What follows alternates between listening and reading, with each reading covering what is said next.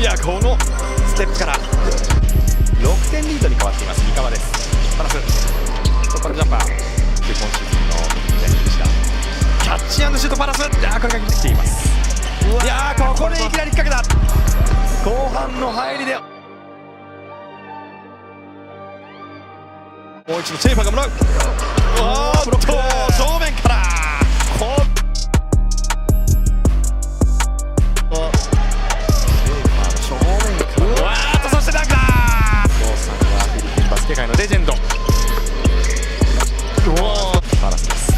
スも外から打ってこれが決まらないがリバウンドから。